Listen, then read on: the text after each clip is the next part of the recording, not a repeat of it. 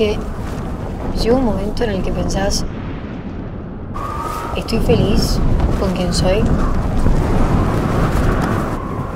Estoy contenta con la gente que me rodea.